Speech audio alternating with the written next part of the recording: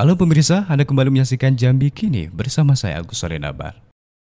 Pemirsa berkas tiga anggota DPRD Jambi yang menjadi tersangka kasus korupsi suap APBD Jambi 2018 lalu dinyatakan lengkap oleh Jaksa Penuntut Umum atau JPU Komisi Pemberantasan Korupsi atau KPK ke Pengadilan Tindak Pidana Korupsi atau Tipikor Jambi.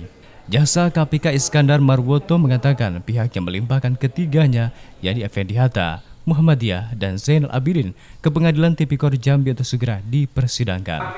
Kemungkinan persidangan untuk ketiga itu akan dilakukan pada pekan depan dan masih menunggu Ketua Pengadilan menunjuk majelis hakim baru nanti akan keluar kapan jadwal sidang.